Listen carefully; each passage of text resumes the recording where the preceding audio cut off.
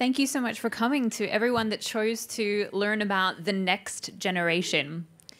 So, sometimes being called the next generation, the part of being in the next generation, it feels like you've inherited this burning house, and then you get told it's your fault that you can't handle the heat. It's the next generation that will benefit the most from what happens in this conference, in this Earth Optimism Summit.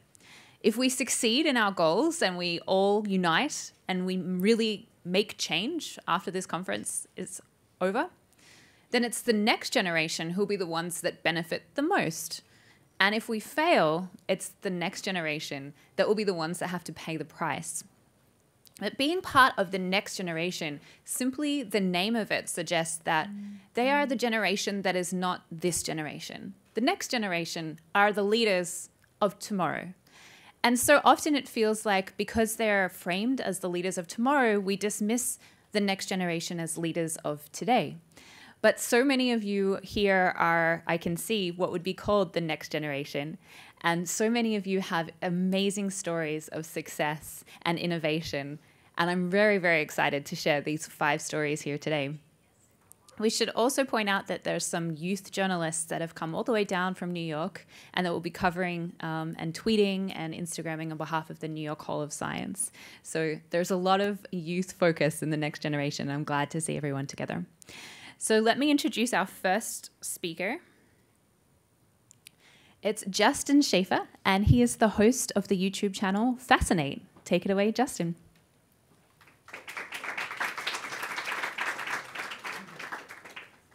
Hey, everybody. All right, so this is not going to be a very conventional presentation. I'm going to require you all's energy and input and excitement and enthusiasm. So if you guys think that something is exciting, then feel free to cheer, feel free to chant. If you think something's funny, laugh. If it's not, crickets. Okay, great. So I'm going to be talking to you all about how to speak Gen Z. And you guys might be wondering at this point, well, what, whoops, what is Generation Z? Generation Z is a cohort that was born between about the year 2000 and about 2015, and they're the generation after millennials. The best way to describe this generation is true digital natives. This is the generation that was born in a time after analog. They have no memory of cassette tapes or CD Walkmans or VHS. You guys remember that though, right? You guys in the crowd do? Okay, cool. Woo! Okay. So they're also the generation that is notorious for always being on those smartphones. But there is a fallacy that can occur when you stereotype an entire generation. You sometimes fail to account for the actual age of the members of that generation.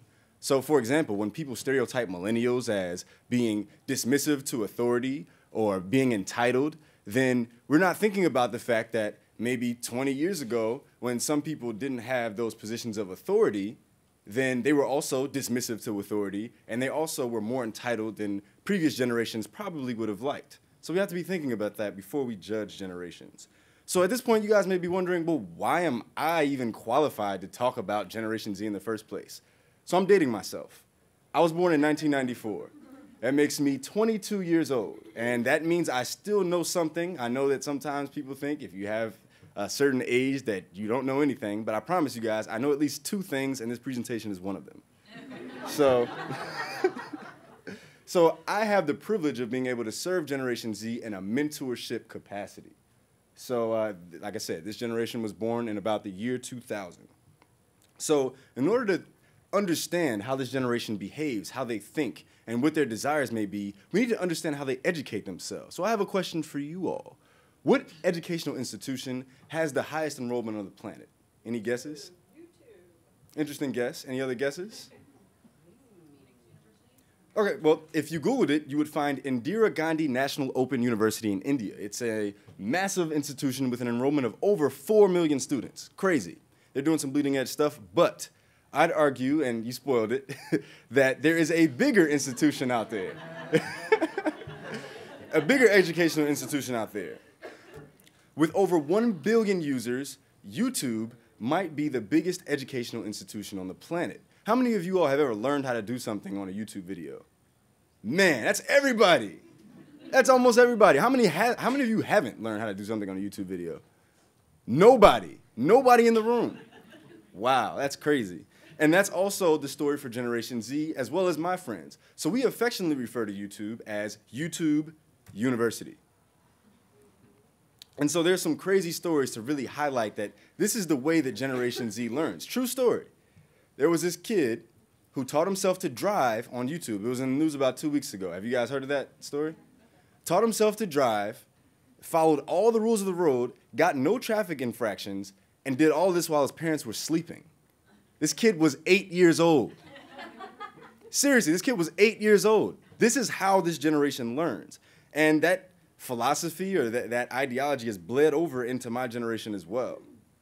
Because my generation and friends of mine are self taught photographers, musicians, hairdressers, uh, makeup artists. They have made income from learning self taught videos on YouTube. And that's also the case for Generation Z as well. According to this survey of about 5,000 Gen Zers, 72% of them want to start their own business. But entrepreneurship to Gen Z looks a lot different than entrepreneurship in other generations. For example, how many of you all have heard of Jen Selter? Raise your hand, please. Okay, one. That's okay. That's okay. you are very cool. You are very cool. Jen Selter is an what we call Instagram celebrity. She's also an entrepreneur in that way because she makes money from ad revenue. The feature that she is proud of, that she is notable for and, and features all over her page, is her rear end. and the, the, the crazy part about it is, one picture of her rear end is probably gonna have more reach than all of us at this conference for the next week. So, I mean, when we think about, it's crazy, right? It's crazy, but when we think about it this way, we have this message about climate awareness and science literacy that we're trying to teach to the next generation, which is largely scientific and informational in nature, how do we compete with something like this? Well, I have a few suggestions. One is high energy. You have to be so captivating, so attention grasping, so compelling that you get everybody's attention in the room, that you pull those Gen Zers away from their smartphones that they're always on. This is a photo from a career, a career day keynote that I gave a couple of weeks back, and I freestyle rap battled one of the high schools in front of all of his peers. Question for you all How many, how many of his peers do you think were glued to their smartphones when I was freestyle rap battling him in front of everybody? Zero.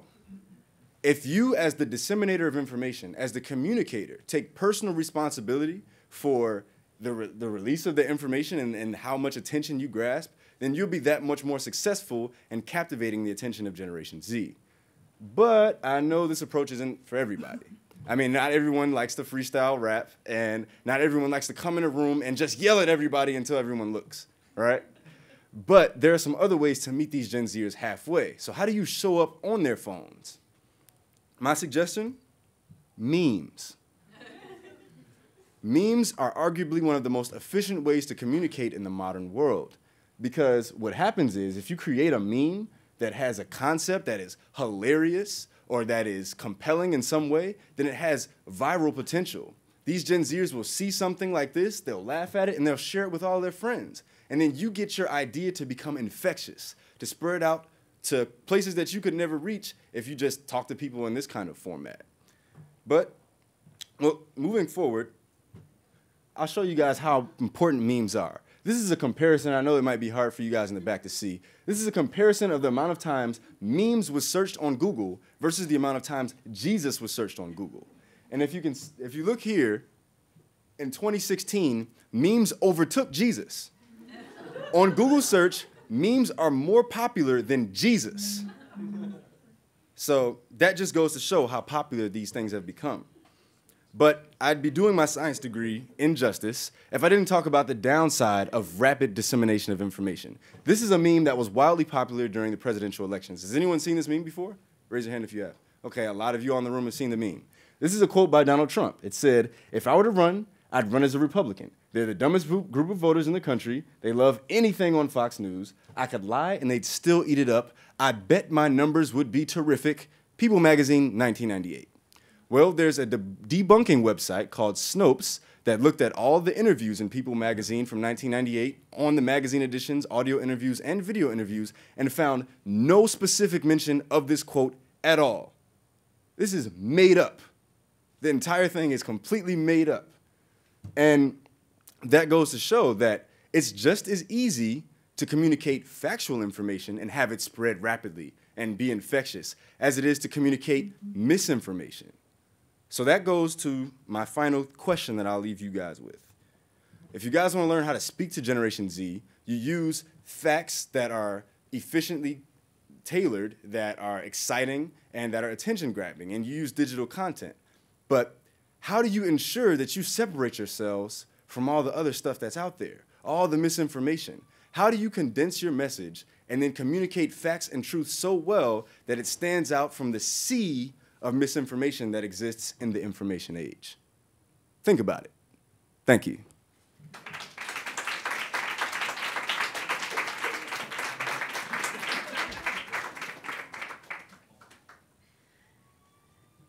Thank you so much, Justin. I hope you all got a lot of energy out of that.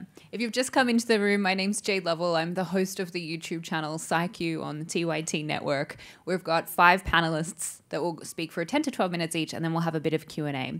So if you've got your smartphones and you're thinking of a question, note it down, and we'll be able to answer them after this. It's a nice small room, so we'll be able to have a good group discussion.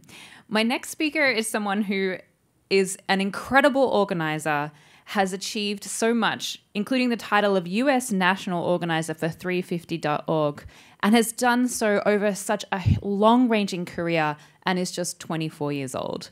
So let me introduce Deirdre Shelly.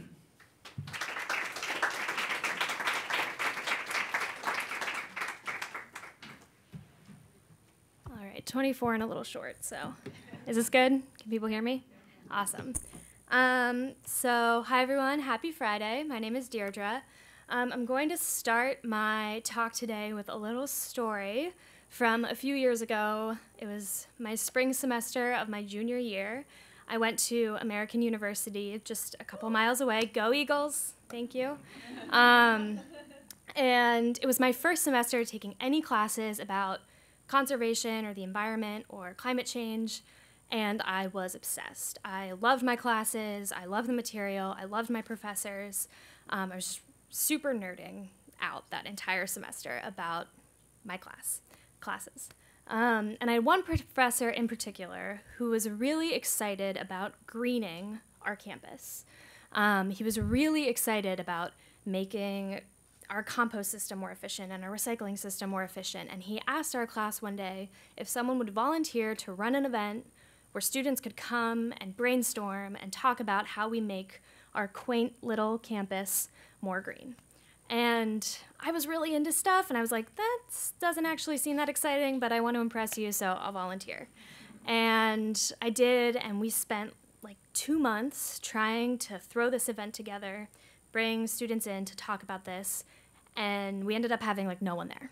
It totally failed. And I felt bad and I was like, oh, maybe I'm actually shouldn't be doing this type of work or interested in these sorts of issues. I can't even get people to an event on campus. Um, but we chalked it up to bad luck, kept, like, moved on. Um, and over that summer, I continued getting involved in environmental work, more climate work. I was really motivated by climate change specifically. Um, and I volunteered to be a student recruiter for the People's Climate March in New York City. And yeah. And I said, yeah, I will make sure my campus and three other campuses in the DC area get on buses, get to New York for this big march. And I was so excited. It was going to be the largest climate march in history. Lots of periods um, in this meme. And I was just, it was amazing. And I, I felt like I was finally part of this thing that was like way bigger than me or my campus. And I was also really nervous because the last time I had tried to get people to something, I had utterly failed. And so we only had a few weeks between the start of the school year and the March. Um, but we, I remember the morning we put our bus ticket pages up on Facebook, up online. And I was like, oh, we'll see sales trickle in. This will be painful. Some of us had put money down on like the bus deposit. And we sold out two buses in like an afternoon. Um, every campus I was working with had similar experiences, and we ended up selling out 10 buses to the People's Climate March. We had 500 students from DC get on buses and head up to New York. Um, and being in New York was an incredible and amazing experience. I hope some of you were there. Um, and we all came back to campus fired up, ready to go, um, and excited to take on even more work in this movement. But when I got back to campus, I, I was I was excited. Um, it was something I'll never forget. Um, but I was also really confused because here I had had an event on my campus. All I was asking people to do was to go to a classroom for an hour for extra credit with snacks. I'm, clearly, I'm over it. Um, and no one came. And on the, you know, a few months later, I said, "Give me money. Wake up at 6 a.m. Get on a bus. Go to New York. Give up your weekend and do something you've never done before." And we couldn't. We ended up having people who couldn't even get a bus seat. Uh, so I talked to my professor about it, and I was like, it was just really bothering me because I knew I wanted to keep doing this work, but I was like, I have to figure this out. I, I can't keep being an organizer. And we talked for a long time. Professors are chatty. And we ended up uh, just figuring out at the end of the day, we needed to go big.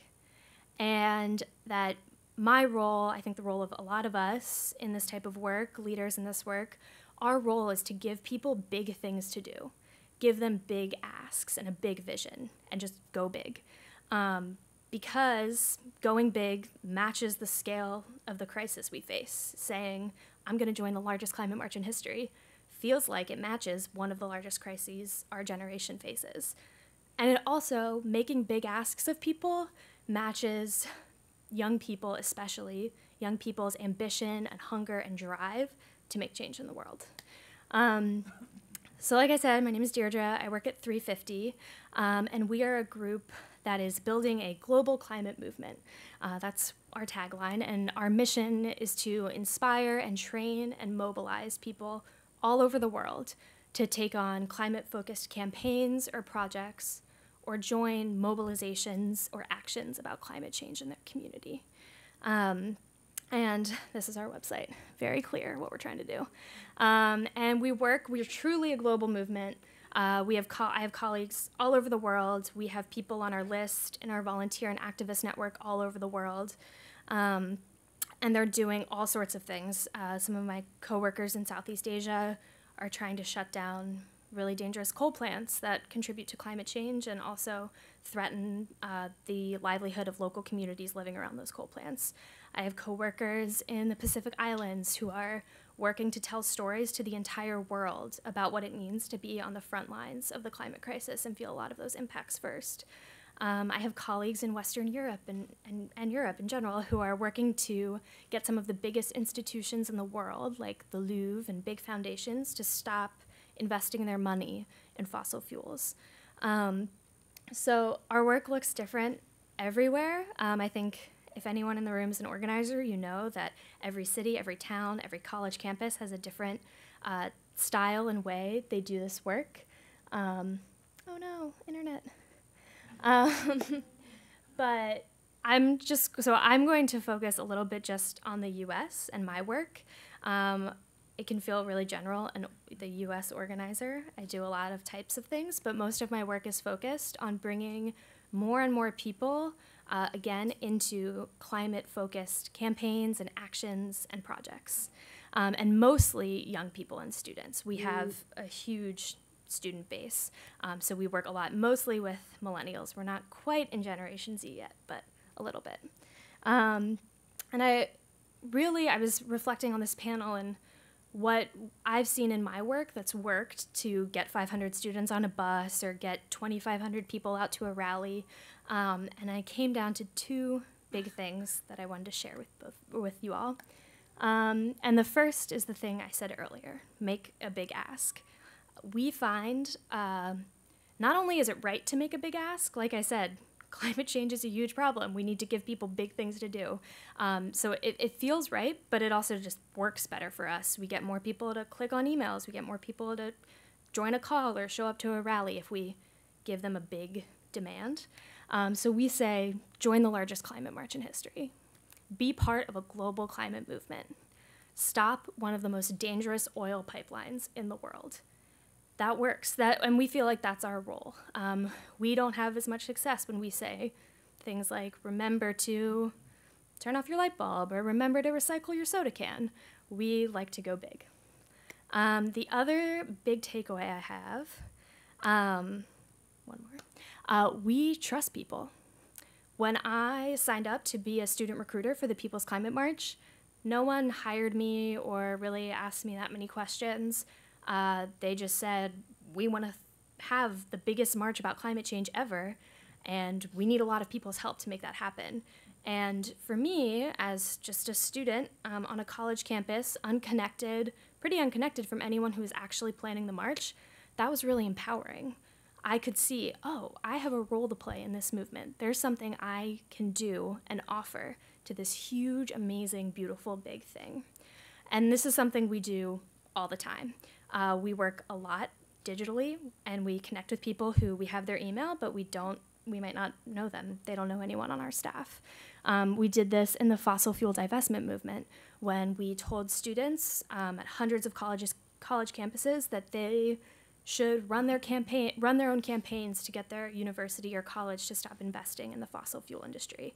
And thousands of students joined the movement. It spread to hundreds of campuses, and hundreds of leaders stepped up and said, Yes, I'll, I'll run this on my campus. Um, I'll take ownership and take a piece of this big pie that is fighting climate change. Uh, we do this in DC all the time. I don't know how many of you live here, but we have marches and rallies in this city every other day. This was the night before a big rally against the Dakota Access Pipeline.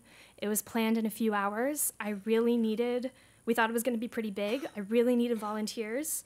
We sent an email, and like 40 young people showed up in 24 hours and said, Yep, I'll volunteer. I'll be there. I can leave work early. Tell me what you need. Um, and it worked, and they did. I didn't know, I didn't really know many people in this room, but I had to say, yeah, we're trying to do a big thing, and I'm going to trust you and give you ownership and power and a role in this march we're trying to have tomorrow. Um, so, those are the two biggest things I've learned just working with young people and trying to bring people into this movement for the long haul. Uh, we and and those things that I've learned are also the things that give me optimism and hope about fighting this big, scary, sad problem. Um, and we just I see again and again. We're working on a march next week, and it's it's happening on my phone right now. Forgot to put it on silent. Um, but we see that when we give people a big, bold vision, a big, bold ask, and we tell them that we need them to take a chunk of it, and we trust them to do that, that big things can happen. So that's it.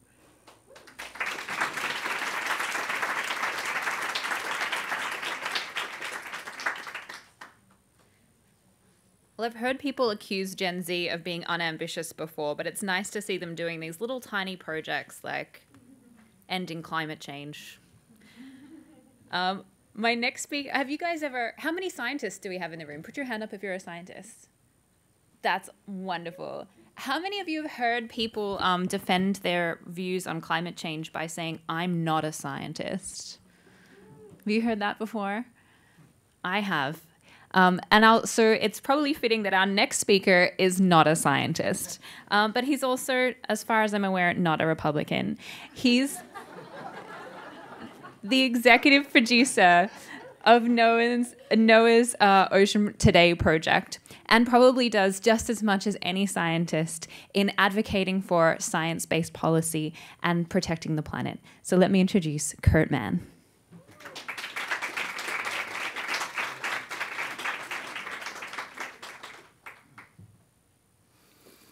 how many folks in the in the room are educators?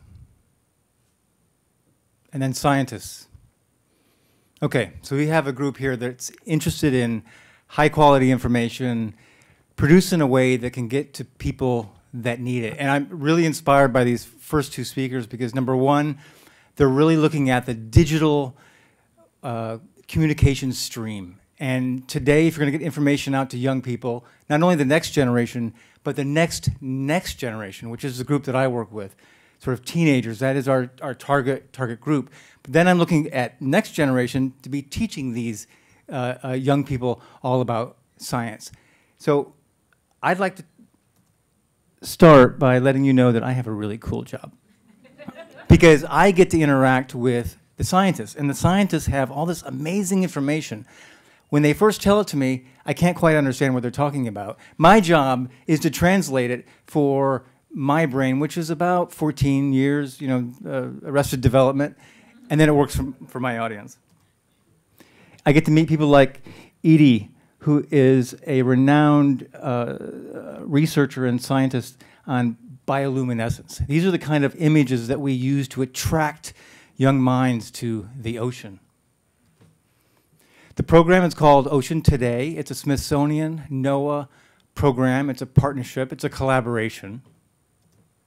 And it started uh, at the Natural History Museum downtown. This is a interactive kiosk. The reason they wanted an interactive kiosk is that they wanted to be able to get fresh information into the museums that were that, that would focus on research and science, you know, year by year, day by day. And these touchscreens give you access to that content.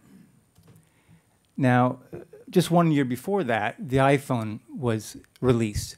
So this was a time when an interactive screen was really new and and really fresh. But the release of this iPhone has been really instrumental into in the direction that Ocean Today and NOAA Media has has has gone because if you can't get your content into that digital stream and produce it in a way that that folks consume it, you're not going to keep their attention. So we have a website uh, that that looks at all the different categories or the main categories that NOAA focuses on. And I'm going to show you clips from this website in the next couple minutes.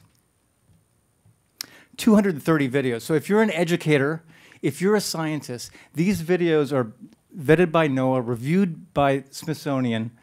They are short, two, two and a half minutes long, and they're high quality. You can go to the website, find the, the, the stories that you want to tell, embed it into your website or your presentation, download it if you need to, and use this content. Because uh, as we heard, it's hard to find content that you know is vetted and know is, is, is accurate, and this content is. You know, I hope you don't get Here's offended by this, but I am delighted that I've given you a puzzle. Yeah, well, this is why it's exploration. You know, we live for this stuff. We live for the new and the puzzling. Now, this is a program where they record video live in the deep ocean. You can actually go online and watch them and listen to this narration as the scientists are discovering the ocean floor. I encourage you to, uh, to uh, search these videos out on the Ocean Today website. They're incredible. So these are the kind of stories that we tell. Ocean Farmers. I've got a, a, a five part series called 3D Ocean Farming on the next wave of uh, folks that are focusing on aquaculture. This gentleman has a farm where he's growing kelp so that he can pull carbon out of the air and, and provide new sources of food. The ocean is an incredible resource that, uh, that we really haven't utilized. Research. Um, NOAA has a huge fleet of ships that actually go out and research the ocean uh, we've got a story that we're working on right now where they are putting uh, listening devices all throughout the Gulf of Mexico near the, uh, the horizon spill. And they are, they are gathering data on uh, where the mammals are using this technology and, and close to discovering whether or not the mammals left that area and whether or not they, they returned. And of course, ocean animals. I mean, I love NASA and there's amazing things out in space. But when you go down deep into the ocean, you can find creatures that look like aliens. And then there's the fun stuff that are right here on our shores. Uh, we're going to be rolling out a whole series this month. We've got a new program called Ocean Today every full moon on horseshoe crabs. They might look super creepy, but there's a lot more to a horseshoe crab than meets the eye. First off, they're not even crabs they're actually closer cousins to spiders or scorpions. So, so what we try to do in this content is to really make it fun, capture people's attention, give them the information they need. Sometimes it's very sobering science, and then wrap it up with what you can do. This is one of the reasons I love uh, 360.org is that they have fun with their content, they have fun with their message, and they give folks something to do. Let's see here. If you do happen to be caught in a rip current, stay calm. It won't pull you under, it'll just pull you away from shore. Now, this clip actually lasts for seven seconds longer. Uh, but what we've been experimenting with is 15 second clips with messaging. We call it Ocean Chum. Putting it into the Facebook feed, right? You get it out there, you, you, you, you chum your audience, and then you bring them into the longer content that might be two and a half, three minutes long. We had a, a, a, a video last year called the Rip Current Survival Guide. It uh, reached 17 million viewers on Facebook because people care about safety. And if you have a safe time at the ocean, then you're more likely to go there more often and more likely to get into conservation. The sanctuary system is a really important um, uh, uh, asset. How many are, familiar with the sanctuary system? Okay. Um, these are areas that are uh, specially protected. They're like national parks in the ocean. And uh, these kind of uh, conservation efforts are going a long way in terms of helping certain parts of the ocean regenerate itself. And of course, the amazing phenomena that's underwater. Orange and red flashes in the pitch black. Lava oozes from the cracks and rolls across the ocean floor. Earthquakes rumble and roar as tectonic plates grate against each other. Now, of course, if we don't produce this content and get it out to schools, people don't really know how amazing and incredible the Earth actually is. And once you start learning about all the amazing life out there and how incredible this, this planet is, you're more likely to then protect it. So the new, new program that we've got called Ocean Today every full moon. One thing we realized is that when we were throwing videos out, people didn't really know when they were available. So now we've got a program every full moon. We produce a collection of videos, five or six videos over a, around a single topic, and publish it on the full moon. We've got seven collections. Animals of the Ice, all about uh, uh, ice melt and how it's impacting animals. Endangered Ocean, the work that people are doing to save species. Trash Talk, all about marine debris. And we did one on bioluminescence.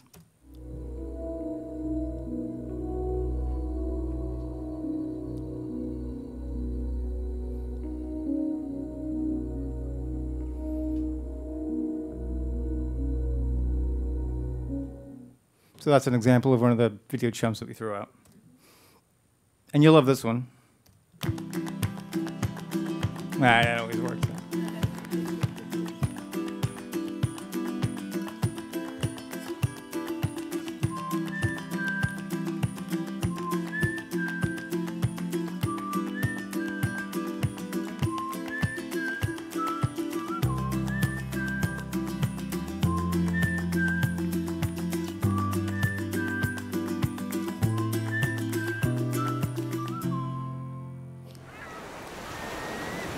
So I'm a big believer in awe and wonder. You have to provide the awe, you have to provide the wonder.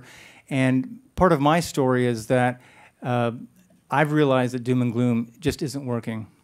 And I want to talk about that as I wrap up my talk. This uh, collection is really important. It came out just this last month. It's called Coral Comeback question mark. We've had terrible bleaching events really over the last 30 years, but especially over the last three years. 50% of our, our corals are dead. So um, I'm going to leave you with this last clip. And this is an example of how you can give people the information, but don't leave them on the doom and gloom story. Leave them with something that they can aspire to, something that they can believe in. And that's really what Ocean Today uh, is all about. Uh, we're a federal agency. We can't advocate for particular uh, policies, but we can help give people tools and the information they need to make their world better. So I'm going to leave you with this clip. In this series, we will look at all the great benefits corals have to people. Actually, that's not Garbage. what I want to show you. People might say. I'm getting the wrap up sign. Ah, here it is. Beyond the doom and gloom. Through the last two bleaching events in Hawaii, we were able to go out and mark hundreds of coral colonies on the reef that didn't bleach. These are the strongest players, these are our super athletes of the reef. We bring them into the lab, we train them in our environmental treadmills, we make sure they have the best nutrition, and they have offspring that are super corals. And they're super corals because they can potentially face the future that will be warmer and more acidic and survive it. So I want to thank you for your time. I really believe that if we look at the science and we share the information and we get together and work hard and know that we can create the next human adventure, um, we can do it. So thanks for your time.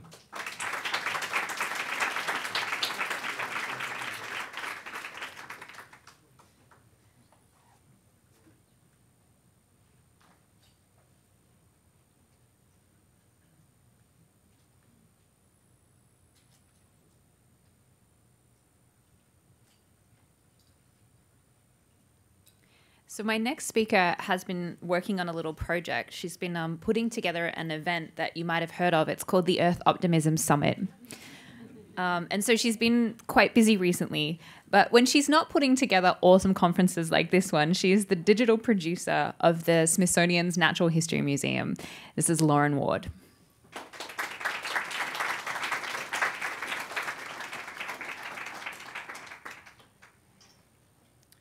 Hey everyone, can you hear me all right?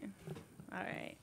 So, how many of you have ever been tasked with writing a report for school and your teacher says, you know, you have to get credible sources because Wikipedia is just not going to cut it. And so you say, okay, well, I'm going to check Wikipedia first. And I'm just going to get all my credible sources from there. And then I just won't reference that I used Wikipedia. So we, nobody? No one else? No? Okay. Um, so we at the Ocean Portal try and be that very accessible Wikipedia source. So our our main game here, you know, we've got we've had presenters that have talked about using memes, getting attention, being high energy. We exist because people need to get their information somewhere to write those reports, and we're the reliable source for that. So we provide the information and we make it very easy to find.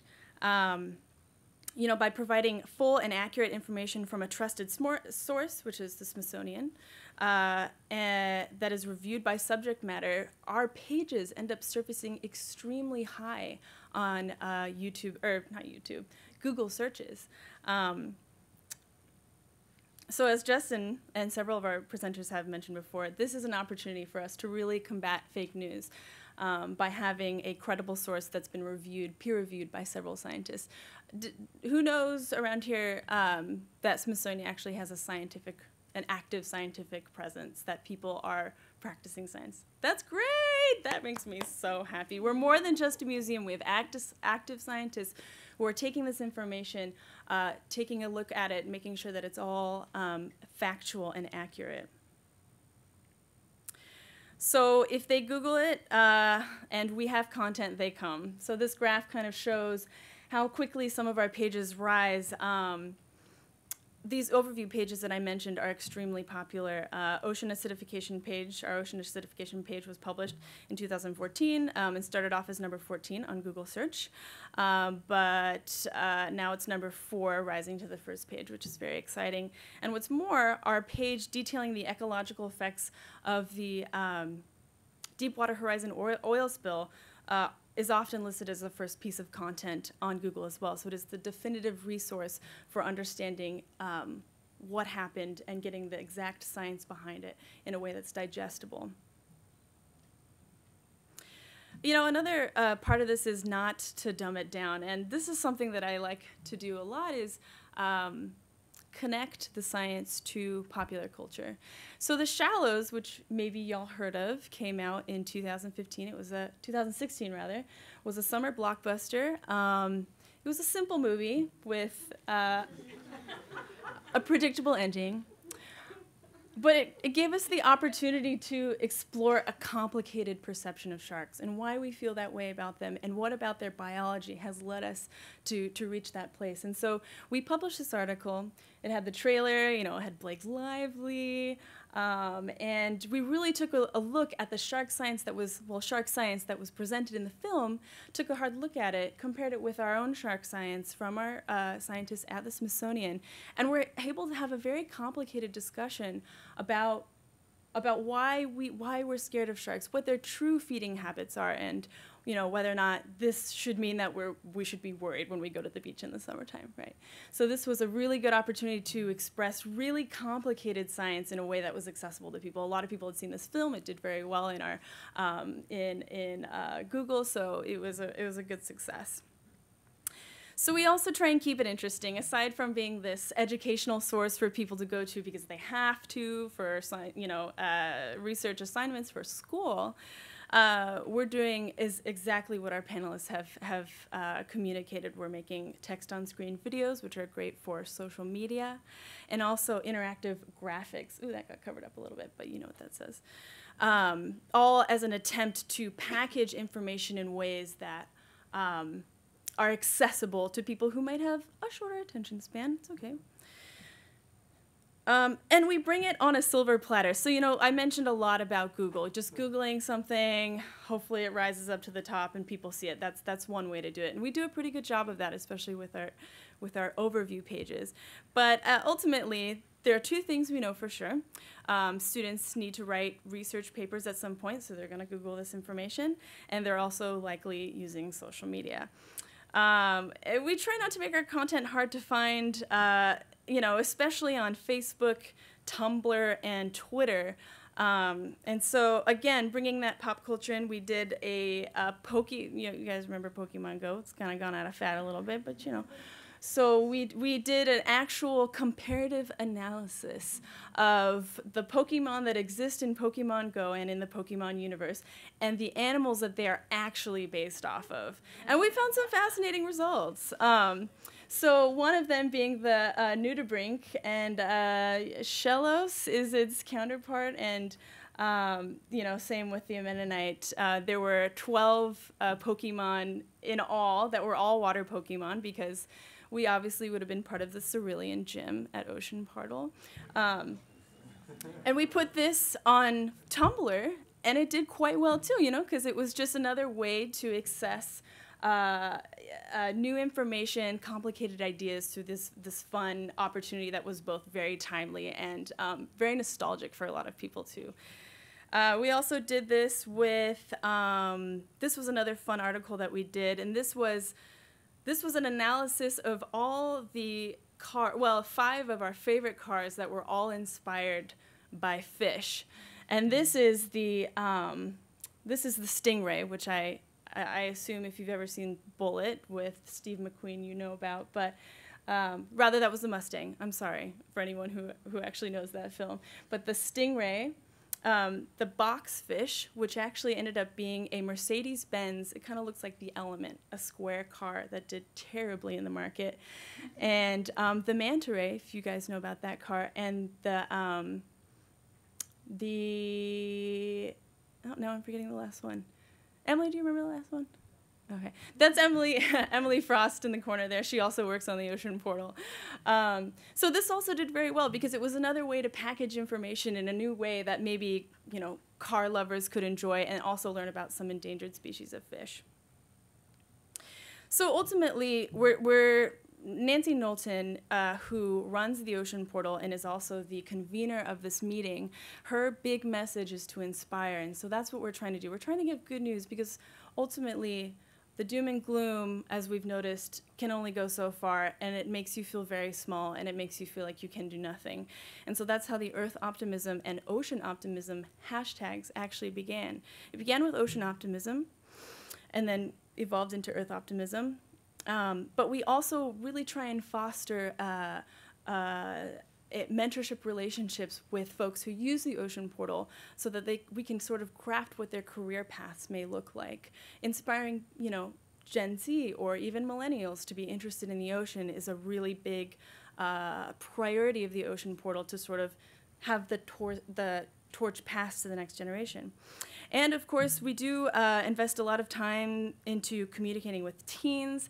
Uh, we have a fantastic event happening at the Natural History Museum um, tomorrow, uh, a teen only Sunday, a teen only event. Uh, we're shutting down Curious, which is our teen space for just teens to come and basically um, absorb all the amazing uh, science, conservation science that will, be here at the summit. We'll have many uh, scientists also going over there on Sunday. So um, with that, uh, I'll just end with a video that we created for Ocean Optimism to inspire everybody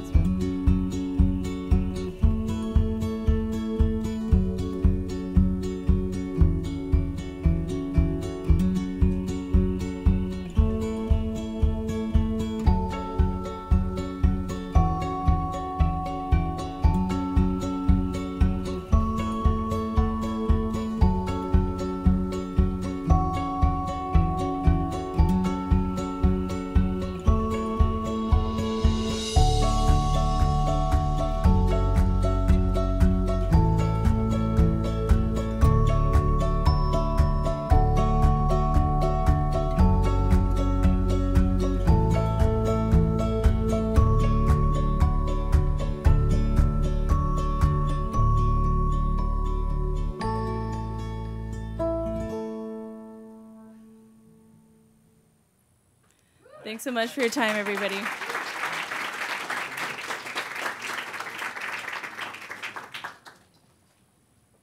So before we get to our final speaker before the Q&A, I want to play a game with everyone. So can I get every person in this room to stand up?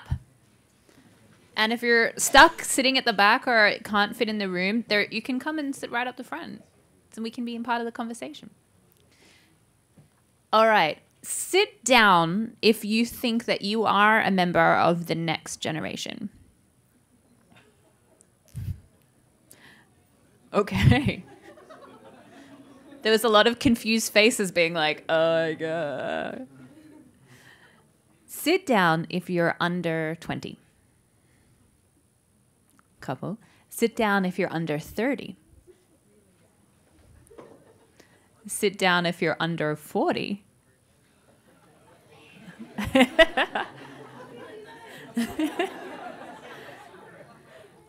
Sit down if you're under 128.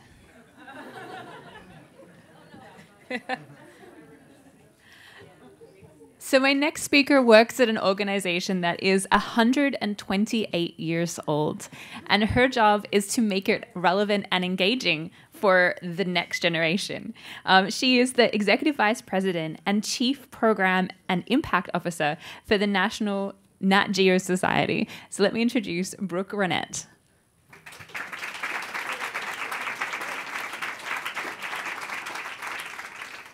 This is good. Hi, guys. Wow, there's a lot of people here, and there's a lot to talk about. I, I am sort of inspired by all the people who were on the panel before to just kind of, especially because of Lauren's thing with some shark stuff, to just sort of step back for a few years in my career. Um, just prior to this job, I actually ran National Geographic Studios. So I ran the film and the digital and the television for National Geographic for a few years. And before that, I worked at Discovery. And when I first showed up at Discovery, they gave me this assignment. They said, "There's this, there's this long-running series. You have to do it this way. It's gonna be this thing where it's great. People love it. It's kind of dropping off a little bit, but we want you to handle this and do it the way that it's always been done, or else." That was Shark Week. They handed it to me and they said, "You got to do it so that people are killed all the time by sharks. People are murdered. Sharks just float around looking for people to bite and eat. And I said, well, it, are the scientists actually saying that too? And of course, we know the answer to that. So, so the interesting thing, and this was just a way to think about things, because the truth is, and I think we're thinking about that a lot right now, is that fear is a really powerful vector of information into people's brains. That's why it bleeds, it leads on the local news, because I used to be a news person before I was that. That's why we put stuff like that on the news, because they want to get ratings. You get ratings when you tell people that there's something that's going to kill them we have to fight that. That's what we're here for. And the truth is, is that there is another vector that, oh yeah, there I am. anyway, there's another great vector that we were talking about before too, which is wonder and awe. And let me say a swear word, holy shit. Holy shit is an excellent vector into the human brain. So going back to Shark Week, one of the things that we one of the things that I did is basically said, well, first of all, sharks are awesome. Second of all, it happened to be the time when a phantom camera, which as you guys know is a thousand frames per second, just got we just built a uh, an underwater housing. So we could actually shoot sharks in slow motion. This is none of those pictures here. I wish I had it for you, but I don't because I don't work there anymore. But but shoot sharks in a thousand frames per second and actually see them as individuals, which had never been done before. You pretty much only saw a great white shark if he was on an autopsy table. Otherwise, you couldn't get close enough. You couldn't get you couldn't shoot it well enough. But putting these things together, we said we shot these sharks and you could see they were individuals. They were looking back at you. They had scarring on them that clearly that's another white who's just bitten them. And clearly that is where a, a seal kind of whacked this one. And then we were able to put together all these fantastic longitudinal studies, like one at the Farallones, where they'd been actually studying the same sharks for 25 plus years. And they knew that one's Tom Johnson, and that one's Scar Girl, and that one's whatever. So we put all this stuff together and then made it happy. So Happy Shark Week is what I did with my marketing team. Happy Shark Week with all the scientists and saying, look at these unbelievably great creatures. They're so awesome. They jump out of the water, and now we can really see it. They do all these things that they do, and they are individuals who have their lives, and don't you love them? So what was great about that is we were able to connect people to this. And then people sort of said they wanted to get the Scar Girls tattooed on their arm and they wanted to do all sorts of things. But the other thing we need to think about is with all this stuff, awareness is not enough. What do you get people to do when you got a bunch of people? What do you get them to do when you have their holy shit and you have their brain and you have captured them and they say, now what? So there's a lot of things you can do with people. We said, okay, don't eat shark fin soup. And everybody who wasn't Asian was like, check, no problem. You know, that's, and then we said, okay, if you are Asian, you have an Asian grandmother, and she really, really wants you to have that for your wedding soup. Here's a little script of what to say to her. Grandmother, I love you so much. Thank you so much for actually, you know, wanting to give my wedding health and happiness for me and everything. But here's a way that I just want to show you something and talk to you. So anyway, we made a bunch of things that were just kind of, here's little things we can do. We did partnerships with a bunch of people. And actually, I'm not saying that we did this, but everything helps. Shark finning is going down. It is going down. So everything can help. It can be something that's actually just fun, and people sit around and just eat Cheetos and watch Shark Week, and they don't even know they're helping, but they're kind of helping because they're waving the flag, or people down in Chatham who are standing there and saying, the whites are back, hooray! You know, we can't go swimming today, but here they are. Anyway, so a couple things are important. I think we're all talking about scale and getting to all of the little kids who have phones. And I have a 12 year old daughter, so I have a Gen Z in my house. I just am not one. Um, but seeing how they're just all on the phones all the time. But the interesting thing is it's still true, and this is true for all media. I come from old media where we've sliced and diced every single thing, but it's still kind of the same stuff. What gets people's brains? We're still talking about brains and how do you get into them and how do you change them. And that is still emotion, it's story, it's pictures. It's a lot of things that National Geographic has really done well for a long time. Beautiful, beautiful picture that cuts right into your chest and makes you open to thinking something different. Same thing with a great film, same thing with a great story, same thing with a really fantastic tale of somebody who explored something and found something new that no one has ever found before.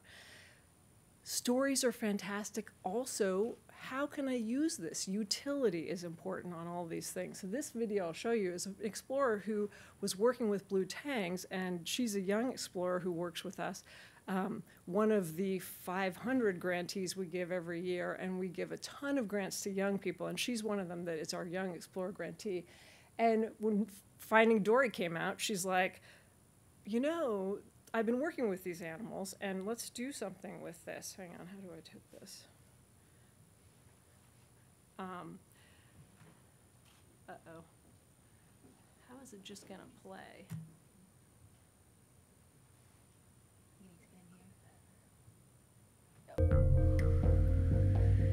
This was just an easy little thing. It just went out, but it was one of the most shared things of anything because it was actually useful. It was useful to people who thought about it, and they could share it with somebody else who might be thinking about something. And I think that that's really important because awareness alone is nice, but it's not enough. Emotion needs to be attached, utility needs to be attached. Um, and people really want something to do. I mean, I think that, again, this is all Shannon's work and. And I, think of all the little kids who've just seen Finding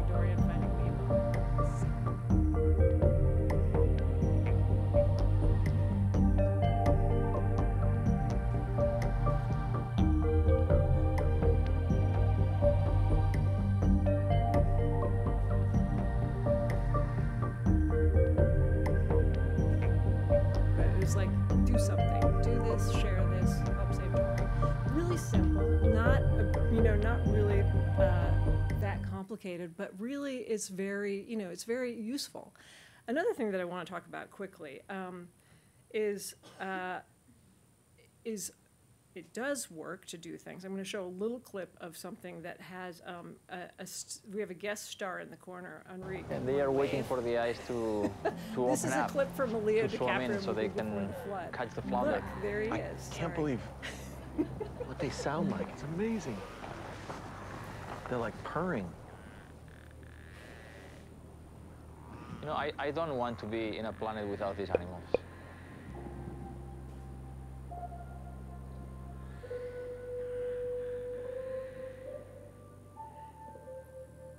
Now this one was this one was uh, retweeted a bunch of times and everything, but the Before the Flood film was again that wasn't call to action; it was share it, and actually that thing was downloaded and watched more than 80 million times. I think it's something like 90 million times now. The whole movie was. This was a clip to kind of, but again, people thinking, okay, now what? What do I do?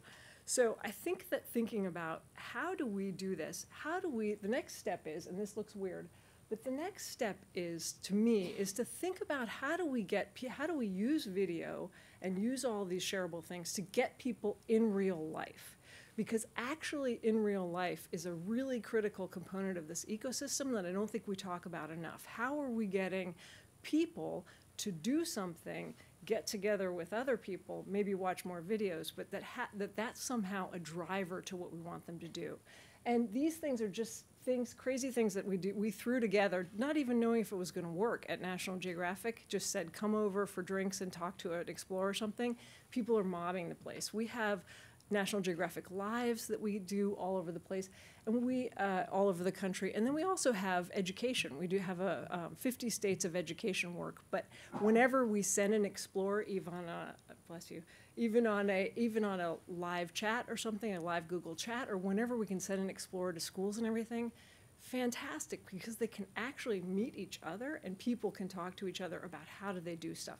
And it just you know, what we're talking about is the human brain and the fact that all of us in this room are still animals, and there's a way that we actually do respond to things, and there's a way we not so much respond to things. And one of the ways that we really, really respond is to actual people who are actually talking to us. And that's a big thing we should think about. Um, anyway, uh, so this is a couple of other things we do. We do photo camps that are like sending kids out to actually start taking pictures and see the world through, you know, taking, you know, obviously photography and everything.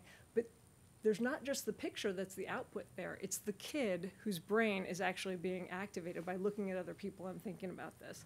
So anyway, my final one is a little, oh no, did you put that one? Anyway, it's a little tiny thing of, uh, hang on. It's a little video of another thing that we do. We put a hundred. I saw a snake, a turtle, and a nuke. I let the nuke crawl on my hand This to my bio arm. blitz when we send When the little nuke went out on my arm, it tickled. Parks. It was so ticklish. That's Yeah, all I could say. dry. I fell in the mud too. It it was really gross. There were spiders and everything. Well, I first didn't like it, and I loved it a lot. So it was very liberating going through the mud. My foot is stuck. Okay, ready? Just took a stick from the floor and kept on walking with it. Imani was very fearful of um, anything that flew or crawled. But But now I'm not scared anymore. Anyway, this is a BioBlitz. Last year, 100,000 people joined us in BioBlitzes, which is something we do with a lot of other people too. But again, what we're all trying to do is get people, little kids, bigger kids, all kids, everybody, out into the world to love it so that we can take care of it. So, anyway, that's what I got to say. Thanks.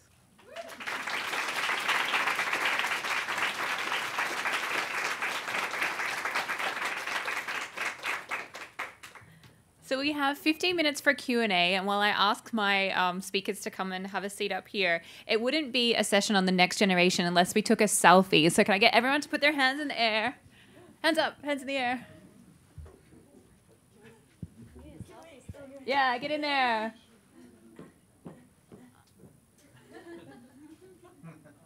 Awesome.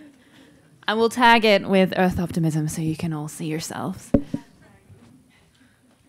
Yes, if anyone is here and they've got their smartphones, please use the hashtag Earth Optimism and spread the word of this awesome event and uh, and the mission behind it.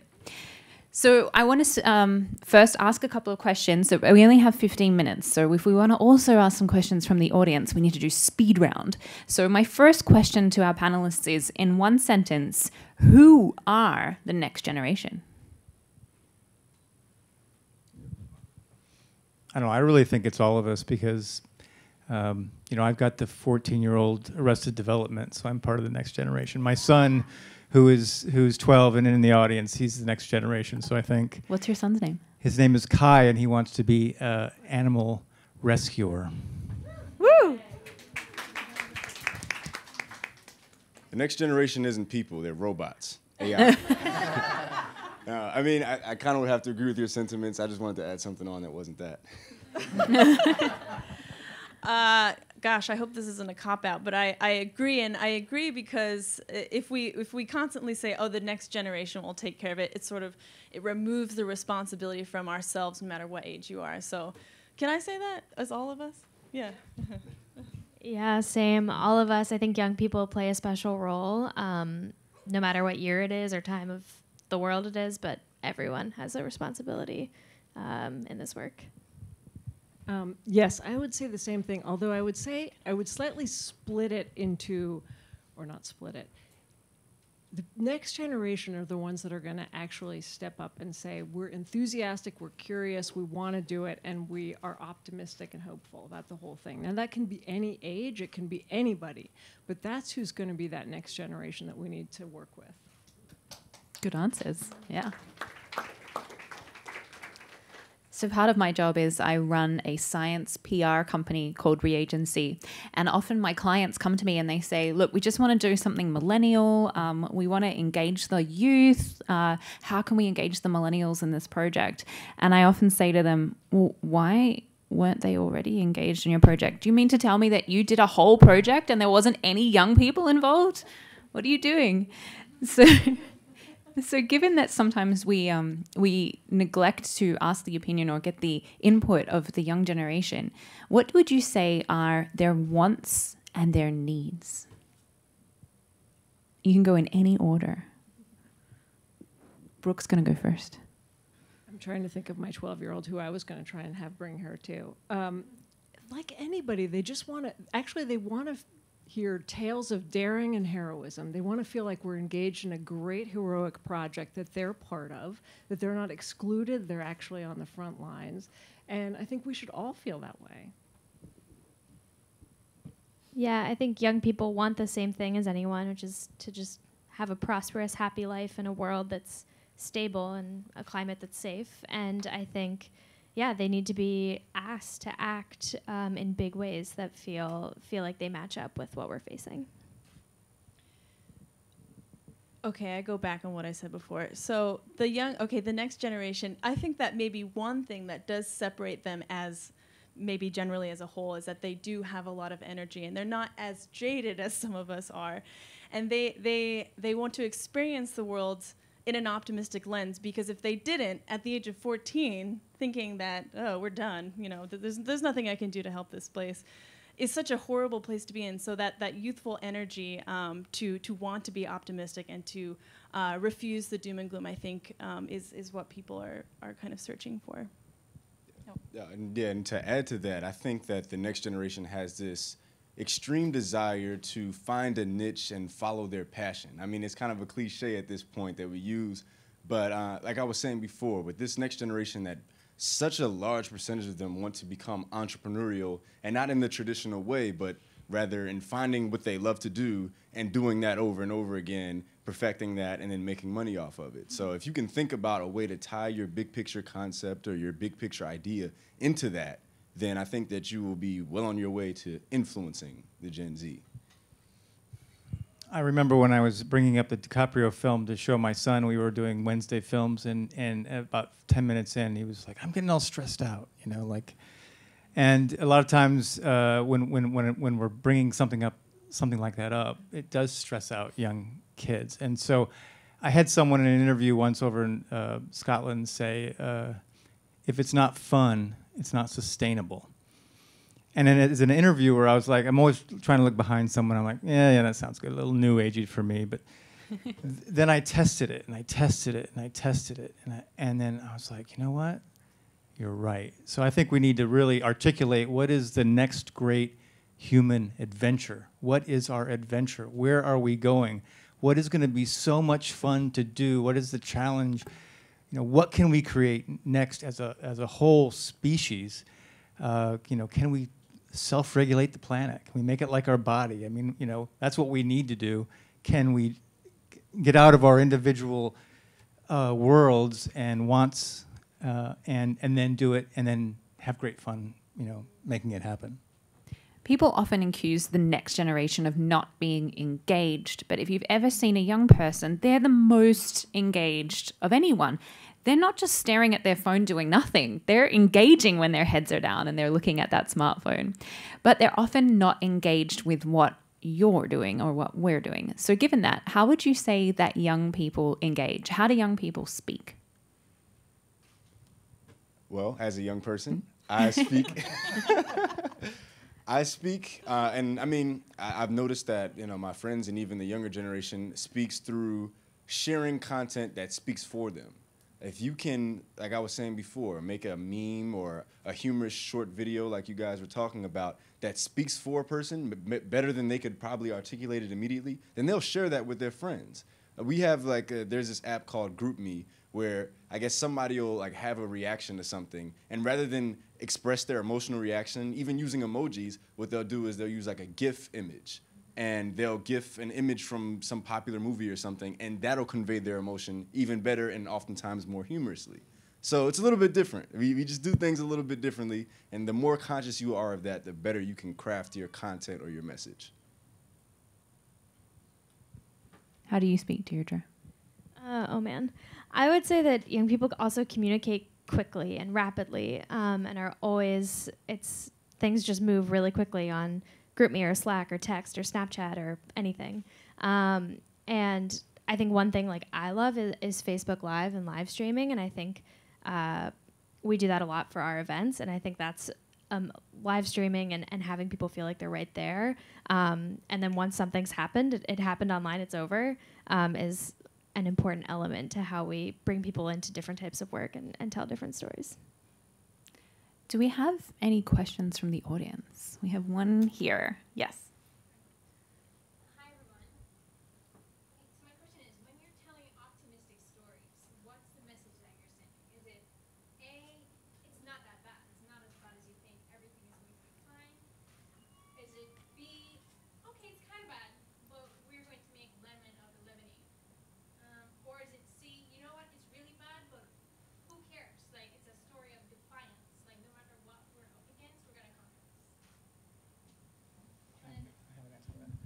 So um, we started developing a, a, coral series, and it was initially called Coral Comeback.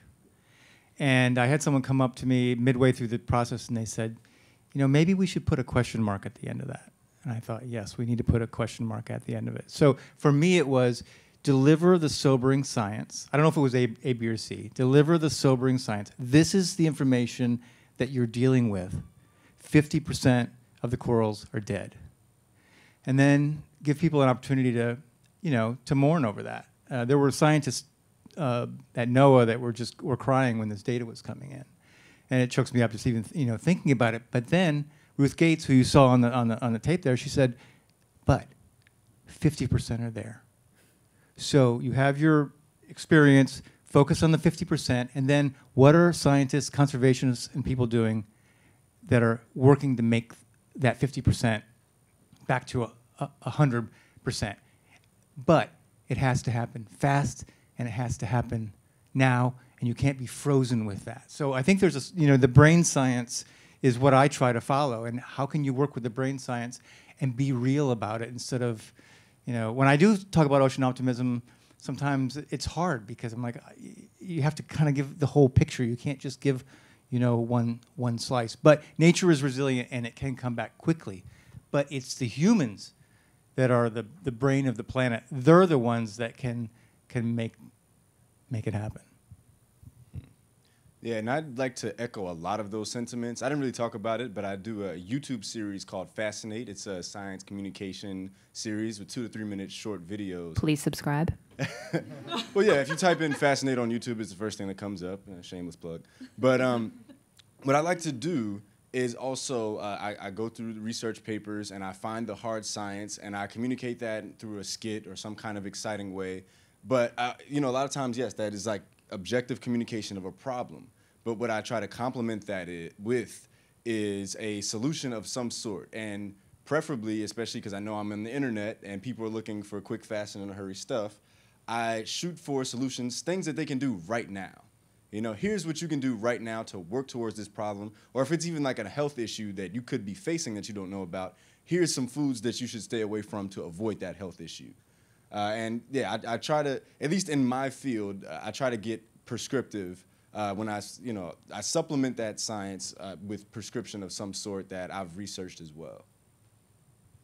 I'll follow up on that. I think this is a really, really important question. I'm really glad you brought it up. I think Earth optimism, especially, can um, convey a sense of maybe even tone, being tone deaf. Like, what do you mean? Why are you optimistic? There's a lot to not be optimistic about right now, and that is certainly the case. I think what's more important here is to, to convey the sentiment of when you have a, an issue, a conservation issue, and, and you apply science to it, and you apply good factual science to it, that is something that you have to be optimistic about. You apply science to it, and you get results. And if we continue, um, you know, critically looking at these issues and and, uh, putting our best people, our best science towards it, there is a serious reason to be optimistic, and there, there is a turnaround that can happen. The alternative, true. I mean, if you if you don't believe in in uh, ocean optimism, the alternative, I guess, is to be pessimistic. And who wants to? I mean, what a way to live, you know? Who wants to do that? Uh, you, you got to be excited about something. So, uh, I, I think there's there's true, there's real reason to be optimistic. And if you're any other way, you're making yourself sick. So. Did you guys want to tackle it? Brooke? Yeah, this is something we think about all the time. Every you know emails we write, Facebook posts, and we don't lie to people and say you know we don't do option A or option B. Um, and I think what we the thing we say again and again and again is the thing that gives us hope and, and can give others hope is joining this movement, making this work part of your life, finding community and others who are making that same commitment and and doing the same type of work. And I've, you know, even for me on the the days where I read scientific articles and I'm depressed and sad, I, I find so much hope and resilience in the community of people who are committed to to tackling this problem. Yeah, I'm. I, I guess I come back to the single most powerful thing we know of in the known universe, kind of, is the human brain, and it seems like the only thing that can save us is really a paradigm shift. And how do people really think differently about how to tackle all this? If we don't think differently and we don't act, we kind of know. I mean, science tells us exactly how this is going to happen. So the whole point of to me of telling all of these stories is to use almost every everything we possibly can. It's sort of by any means necessary. And some people respond to funny, some people respond to fearful, some people respond to like here's a huge amount of solutions, like you had all the solutions. But the only thing we know is that we have to try because, and we have to work on human brains in every way we possibly can. And I think fun is the, probably the best vector. It's a good point that there's some people respond to funny and some people respond to fear, but I think the point is that you have to speak the language of your audience. And if you're trying to, to speak to young people, maybe speak like young people. We have time for one more question. There's someone in the back on that side. Yes, you. Yes, you. Shout it out.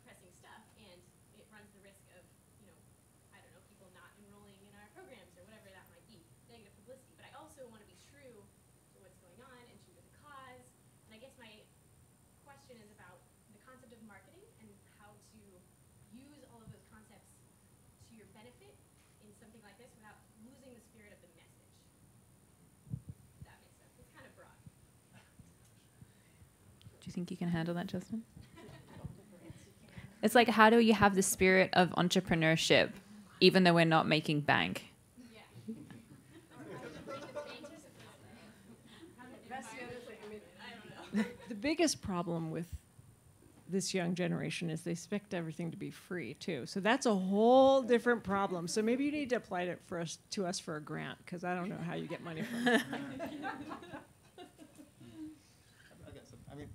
I, am not 100% sure of what the question was, to be honest, but um, but I, you know, social uh, impact entrepreneurs and and that and, and, doing something that's meaningful, I think is just something that um, that younger generation is really really focused on. And I, I had some experience uh, working with groups that went down to Haiti and delivered solar light bulbs and had a buy one give one campaign.